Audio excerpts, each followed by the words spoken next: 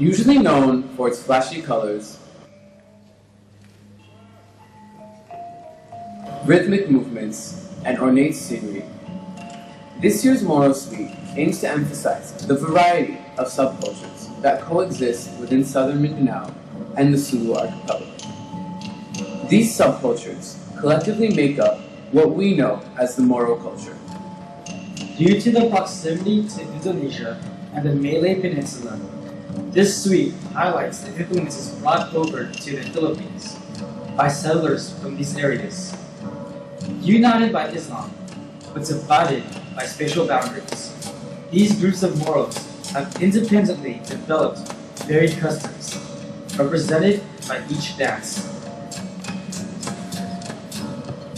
Silat is derived from the Indonesian martial art of silat, known in the Philippines as Kuntao Silat. It stresses the moral values of self-defense, protection, valor, and bravery.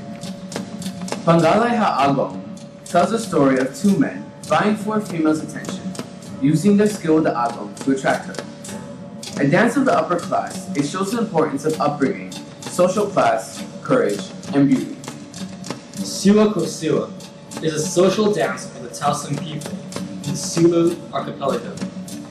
This dance is used as a socially acceptable flirtation device between couples, exemplifying virtues of modesty and composure. Also from the Tausug, Buti Buti is an occupational dance mimicking tasks of their daily lives, calling to attention the values of hard work, family, and pride. Together, these dances give an encompassing view of the various aspects of Moro culture. Without further ado, we present you Suite.